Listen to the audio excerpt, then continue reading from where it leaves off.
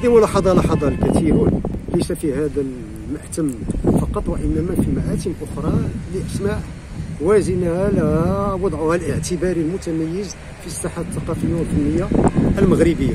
أنا شخصيا لا يمكنني أن أجد أي عذر للإعلام العمومي على وجه الخصوص بحكم أن الفقيدة فاطمة ركراكي قدمت لهذا الإعلام خدمات وخدمات جليلة وأتتت باسمها النبيل الكثير من ساعات البث لا في الإذاعة ولا في التلفزيون ولا في الشاشات شاشات السينما.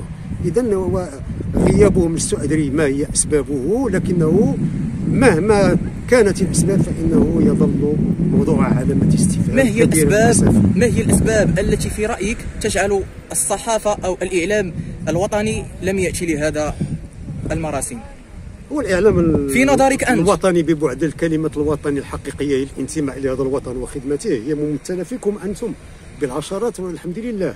أما بالنسبة للاعلام العمومي الذي يهمني في هذا الأمر أنا لن أجد له عذرا. أقولها بكل وضوح.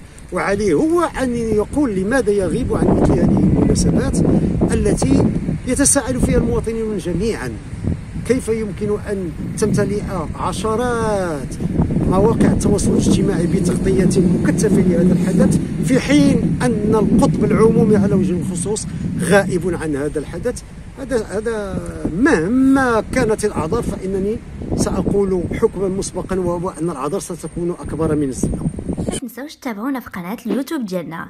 وفعلوا خاصية الجرس باش يوصلكم كل جديدة ديروا شير الفيديو وبارتاجوا الفيديو مع أصحابكم في مواقع التواصل الاجتماعي.